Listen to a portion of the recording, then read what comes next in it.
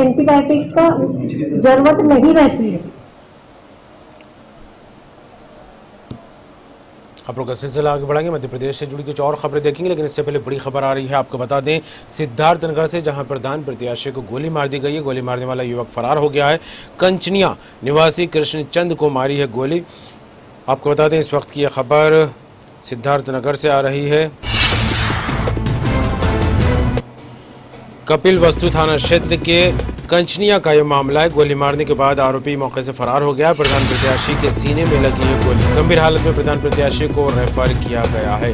खबर सिद्धार्थनगर से है। इस वक्त की बड़ी खबर आपको बता दें। प्रधान प्रत्याशी को गोली मारी गई है। और इस खबर पर बात करेंगे, हमारे साथ जुड़ गए हैं रियाज खान, संवाददाता सिद्धार्थनगर से। रियाज, इस वक्त की बड़ी खबर जो है, प्रधान प्रत्याशी को गोली मारने की खबर है। क्या कुछ है पूरा मामला? प्रत्याशी नहीं है। रास्ते में कृष्ण चौधरी बाइक से जा रहे थे, बकरी टकरा गई और बकरी टकराने के विवाद को लेकर ये विवाद बढ़ा है और कुछ दबंगों ने इस विवाद को इतना आगे बढ़ा दिया है कि कृष्णचंद चौधरी को तमंचे से फायर कर दिया, जिसके सीने पे गोली लगी है, सर, कंधे पर। जी, इस पूरे मामले को लेकर पुलिस प्रशासन का क्या रुख देखने को मिल रहा है? तो पुलिस पुलिस प्रशासन मौके पर पहुँच गया है। अग्रिम कार्रवाई कार्रवाई में जुटी हुई है।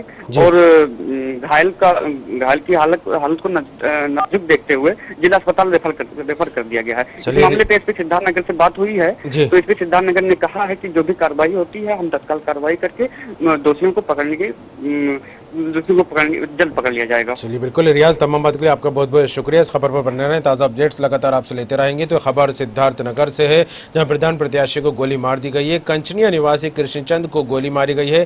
गाड़ी गाड़ी चलाते वक्त बकरी के सामने आने को लेकर विवाद हुआ था। इस तरह की खबर निकलकर सामने आ रही है। पुलिस मौके पर पहुँच गई है और घायल प्रत्याशी को अस्पताल में भर्ती करा दिया गया है।